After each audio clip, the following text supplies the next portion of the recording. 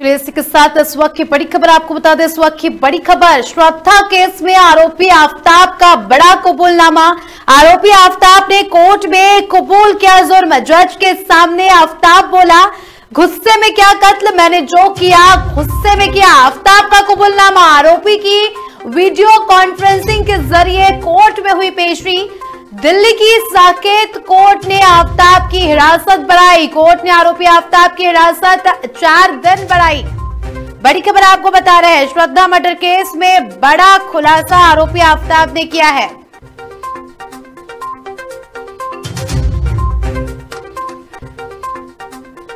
चलिए, इस खबर पे ज़्यादा जानकारी देने के लिए हमारे साथ एसोसिएट एडिटर दिल्ली से ताहिर सैफी जुड़ चुके हैं।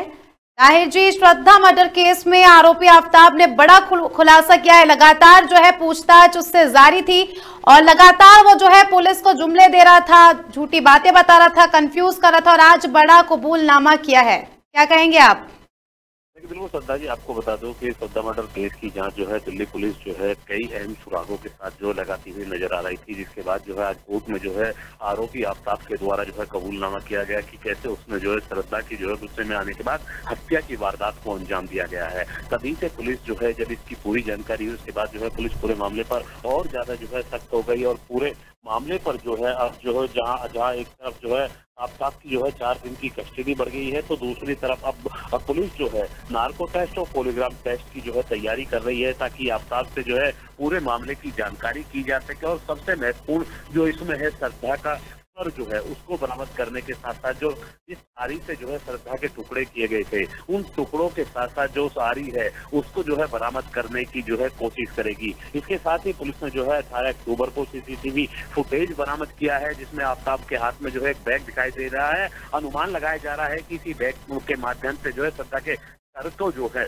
आफ्ताब के द्वारा ले जाया गया है और फिर जाकर जो उसको डिस्ट्रॉय किया गया है। यानी कि साफ़ है कि पुलिस पूरे मामले पर अब जो है और ज़्यादा सख्त होती चली गई है क्योंकि बीते दिनों जिस तरीके से आफ्ताब के द्वारा पुलिस को बताया जा रहा था पुलिस जब आफ्ताब से जो है हिंदी में बात किया करती थी तो बताया जा रहा था कि आफ्ताब इंग्लिश में जो उससे बात करते हुए उन सवालों का जवाब दिया करता था और बड़ा ही कूल मिजाज जो है नज़र आता था। तो इसी कूल मिजाज के माध्यम से जो है आफ्ताब लगातार पुलिस को जो है गुमराह करता हुआ नज़र आया था। हालाँकि पुलिस पहले इस मामले में जो है तक तेरे जो अलग अलग अवशेष हैं। उनको जो है बरामद कर चुकी है और फॉरेंसिक जाँच के लिए भेजा गया है। साथ ही जो मृतका श्रद्धा है उसके पति का भी जो है डीएनए सॉरी माफ़ कीजिएगा कि उनके पिता जो है उनका भी जो है डीएनए जो है लिया गया है ताकि इस पूरे मामले की जो है जाँच की जा सके। यानी कि साफ़ है कि लगातार जो है पुलिस जो है एक एक कदम जो है चुन चुन कर आगे बढ़ रही है और आफ्ताब जिस तरीके से श्रद्धा का मर्डर किया था उसके एक एक सबूत को जो है जुटाने का कार्य शुरू कर दिया गया है।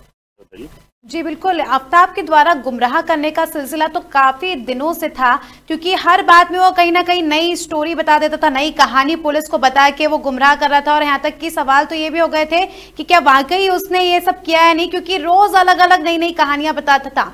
अब क्या हो सकता है? चार दिन की जो हिरासत बढ़ा दी है, उसमें क्या कुछ बातें निकल कर सामने आ सकती है? नार्कोटेक्स के लिए क्या क्योंकि नार्कोटेक्स जब जाँच होती है, उसमें जो है आरोपी से भी पूछना पड़ता है तो उसमें क्या कुछ हो सकता है?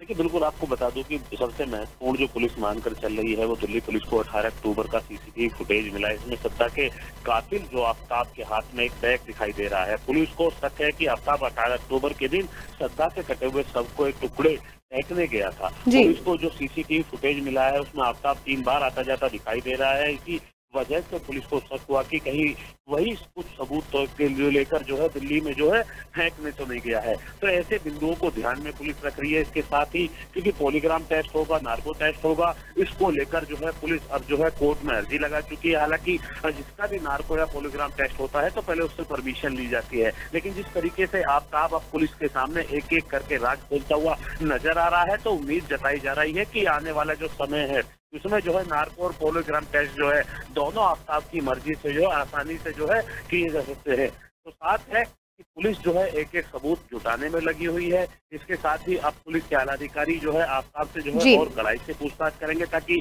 अवशेष जो है उनको पूरी तरीके से बरामद किया जा सके। सबसे महत्वपूर्ण इस पूरे मामले में जो है जो श्रद्धा का मोबाइल है इसके साथ ही जो। आरी है उसको बरामद करना पुलिस के लिए चुनौती बना हुआ है और यही कारण है कि पुलिस जो है अब आफ्ताब का जो है नार्को और पोलिग्राम टेस्ट कराना चाहती है ताकि इन दोनों के जाँच के बाद जो है ये महत्वपूर्ण सबूत जो है इनको जो है जुटाने का काम किया जा सके। इसके साथ साथ पुलिस ये भी मैं मान के चली है क्योंकि मैं आपको बता दूँ कि जिस तरीके से जो है नार्को होगा नार्को टेस्ट की जो है कोर्ट में वैलिड नहीं माना जाता है क्योंकि माना यही जाता है कि नार्को टेस्ट इंसान को बेहोशी की हालत में करके लिया जाता है लेकिन कई ऐसे महत्वपूर्ण सुराग जो है ज़रूर पुलिस के हाथ लग सकते हैं जिनके आधार पर पुलिस जो है इस पूरे मामले को जो है आगे बढ़ाने का काम कर सकती है और आफ्ताब को फांसी के बंदे तक पहुँचाने का काम कर सकती है। जी, चलिए बहुत बहुत शुक्रिया आपका हमारे साथ जुड़ने के लिए और तमाम जानकारी साझा करने के लिए। तो बड़ी खबर हमने आपको बताई, श्रद्धा मर्डर केस में आरोपी अफ्ताब ने बड़ा खुलासा किया है। उसने कबूल किया है कि उसने गुस्से में आकर श्रद्धा का मर्डर किया था।